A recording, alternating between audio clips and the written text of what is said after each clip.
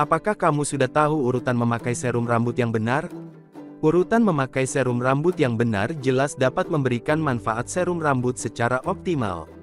Kalau kamu tengah mencari cara untuk atasi rambut rontok parah, ketahui dahulu urutan memakai serum rambut yang benar.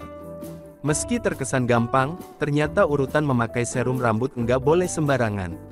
Simak urutan memakai serum rambut yang benar untuk atasi rambut rontok parah berikut ini. Pertama-tama, bersihkan rambut kamu dengan sampo dan bilas hingga bersih. Pastikan rambut kamu bersih dari sampo sebelum mengaplikasikan serum rambut. Setelah keramas, keringkan rambut dengan handuk, karena rambut yang terlalu basah dapat menyebabkan serum rambut tidak meresap secara optimal.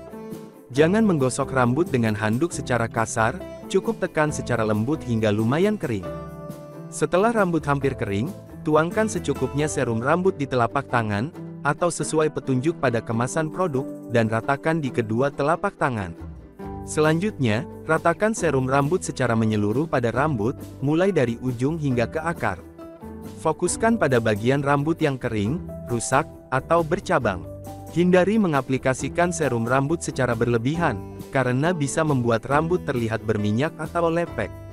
Kesalahan yang paling umum terjadi adalah mengaplikasikan serum rambut hingga ke kulit kepala.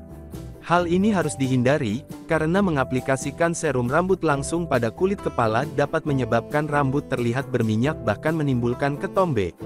Nah, itu tadi urutan memakai serum rambut yang benar untuk bantu atasi rambut rontok parah. Kamu dapat mengatur rambut seperti biasa, seperti mengeriting, meluruskan, atau mengikat rambut sesuai keinginan.